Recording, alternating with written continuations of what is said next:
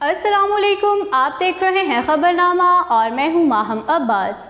अदाकारा हानिया आमिर की अदाकारी की तो कोई खैर खबर नहीं आई। हाँ मगर कोई ना कोई ऐसी गेम डाले रखती हैं कि ख़बरों की जीनत बनी रहती हैं। हाल ही में अदाकारा की जानब से शेयर की गई मुख्तर वीडियो के बाद जहाँ इन पर तनकीद की गई तो वहीं इनकी गोरी रंगत के चर्चे भी किए गए। हानिया आमिर ने यूट्यूब पर नाक छिदवाने की मुख्तर वीडियो शेयर की, जिसमें इनके साथ इनके साथी मर्द भी थे, जिन्होंने कान छिदवाई वीडियो में हानिया आमिर ने बताया कि वो पहले ही नाक छिदवाना चाहती थी, मगर परवाज़ है जुनून नामी फ़िल्म की वजह से इन्होंने नाक नहीं छिदवाई क्योंकि मजकूरा फ़िल्म में इनके किरदार को किसी भी किस्म के जेवरात पहनने की इजाज़त नहीं थी।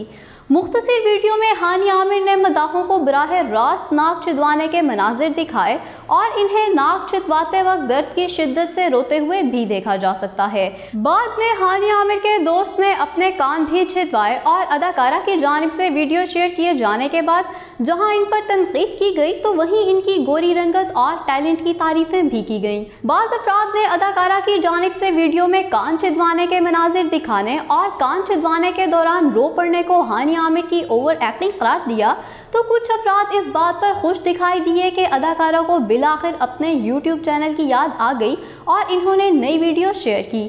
हानिया आमिर को वीडियो में हल्के मेकअप के साथ देखा जा सकता है और इनकी गोरी रंगत की वजह से कई लोगों ने इनसे इसका राज भी पूछा। ज़्यादातर मदाहों ने इनकी वीडियो की तारीफ़ें करने की बजाय इनसे इनकी गोरी रंगत का राज पूछा।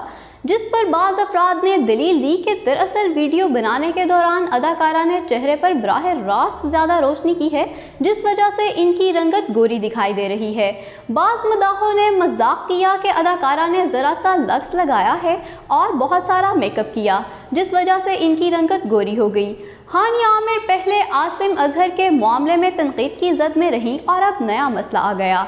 हमारा तो यही मशवरा है कि वक्त देहान सब काम पर लगाएँ। अदाकारी अच्छी करेंगी तो नाम खुद बन ही जाएगा। ये चोंचले करने की ज़रूरत नहीं पड़ेगी। वीवर्स आप हानिया आमिर को क्या मशवरा देना चाहते हैं, कमेंट सेक्शन में ज़रूर लिखिएगा। वीडियो पसंद आई है तो लाइक और शेयर करना मत भूलिएगा।